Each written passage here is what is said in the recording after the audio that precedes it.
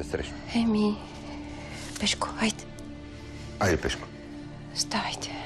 Айде да слагаме обувките, моето момче. Айде. Давай.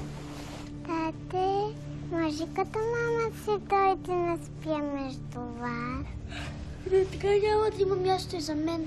Затова тати ще ни остави да спинкаме тримата самички. Ей! Е, е. Не, сега знаете ли какво ще направим? Като си отидем вкъщи, аз ще ви разреша и на двамата да спите при мен.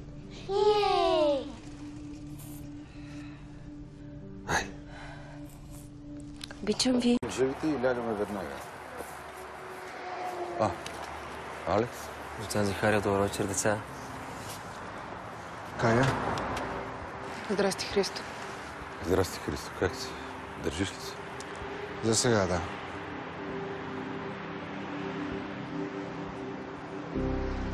Ти, ти пък какво правиш тук? Дали се чухме по телефона да ви закарам? Мишки готови? Да ви да спинкате? Късно си тръгвате, доцент Захарев.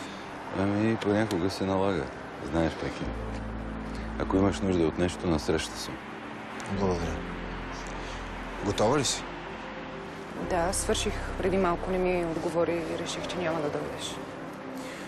Колата ми надолу да ходим, а? Алекс, ние сме с нашата кола.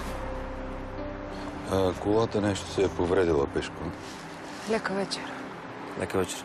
В колата ли е повредата? Кажи бе, тате, в колата ли е повредата? Спокойно, Пешко. Всичко е наред с колата. На друго място е повредата.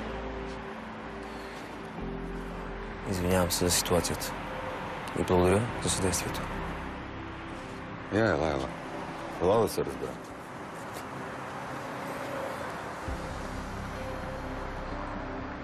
Знам, че сред разхвърлените части на пъзела няма излишни. И вярвам, че когато цялата картина се подреди, всяко от парчетата ще намери своето място.